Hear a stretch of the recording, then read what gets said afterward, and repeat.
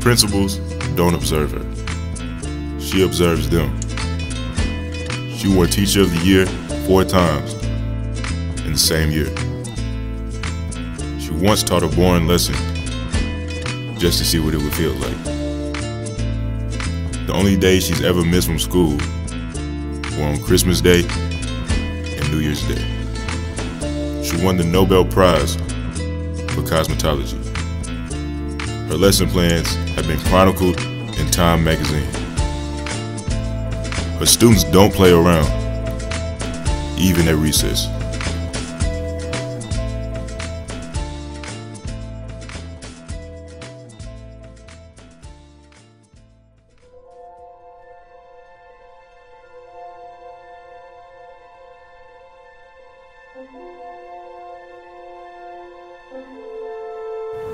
Can you tell us your name and briefly just give us a history of your teaching career?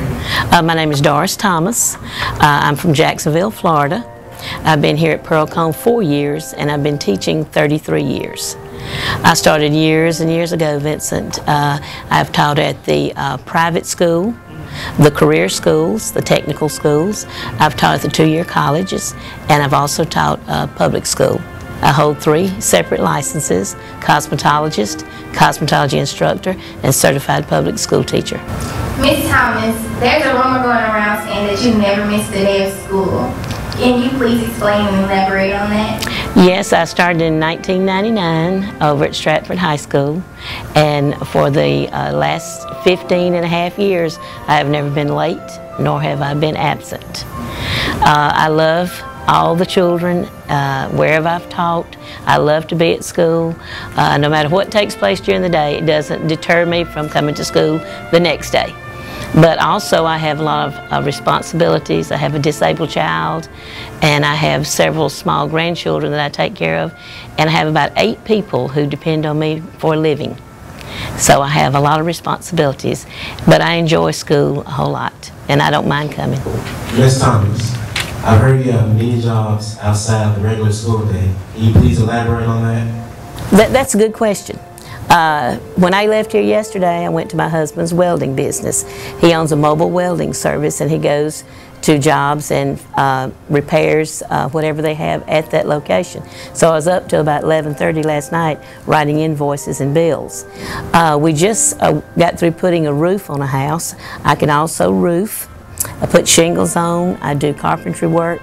Uh, we just got through laying 300 bricks and blocks for a 52 foot long foundation. Uh, I can weld. I can work on cars with my husband. Uh, he can send me to any parts store or any place and I can get the right parts. I can listen to a car sometimes to tell you what's wrong with it. So I do a whole lot of things. Ms. Thomas, I only get six hours of sleep and I come to school I can barely function. How many hours do you get? About four. Uh, and sometimes I've stayed up all night and I came right back to school and worked the next day and didn't sleep at all.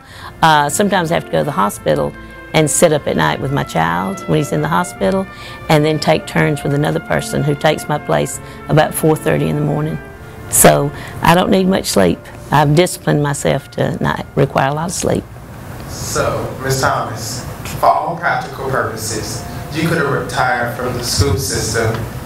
Uh, why haven't you retired?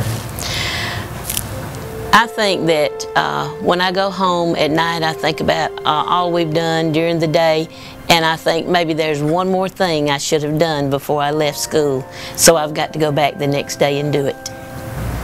Can you describe your relationship with your students at Pearl-Cohn? I think that I do have a good relationship with them because they know I'm firm and I'm strict. And sometimes they get very angry with me, but it's for their uh, best interest that I uh, teach them the way I teach them. And I want them to grow up to be uh, professional people and well thought of in the community. And I want them to say, when they get older, I remember that old Miss Thomas. She told me to do this and she told me not to do this. And I want them to be successful in life.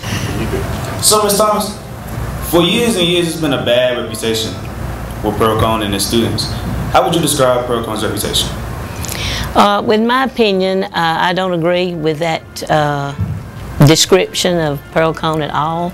Uh, I have so many students that I've taught over the years, not only here at Pearl-Cohn, but all of MNPS. And I think that uh, the students are more successful than people think they are. And they do much greater things than people know they do. So I think the best thing for us all to do here at school is just to do our best every day. I have girls who have to come back to me to get their IWIS certified to go on to other schools, so I know I have some successful students. So the best thing to do is just to ignore what people say about Pearl-Cohn, be yourself and be successful. So Ms. Thomas, tell me, what motivated you to keep going? Uh, when I was probably around 11 years old, uh, our preacher and his wife asked me to come over to their house one day and uh, they had a little project. Uh, if I would clean up their house and wash their dishes, take care of their children, I could get in exchange piano lessons. Okay, so I thought that was the best opportunity that I could have ever gotten in my life. Little did I know they were leading me to Jesus. That was the whole point. So I think that what has kept me going all these years is knowing I had someone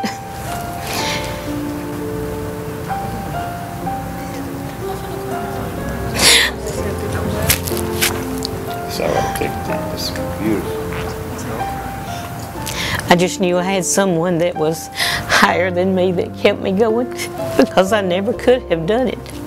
I would have been dead. I mean, I was I was so starved to death from not having food and nowhere to stay and stuff like that. My mother being dead.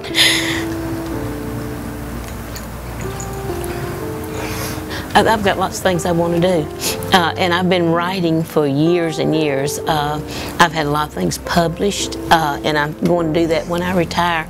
But I just always knew there was somebody watching over me because a child that small could not have gone through all that without somebody to help them. Miss Thomas is relentless.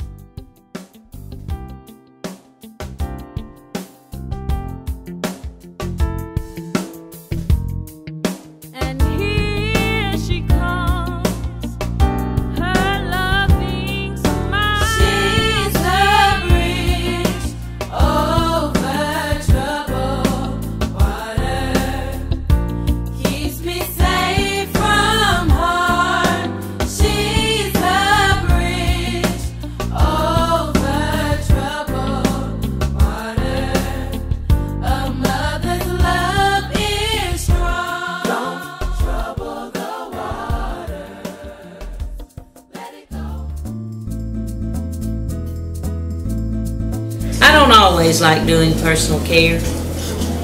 But when I do, I like to do it at Pearl-Cohn. Stay thirsty for education, my friends.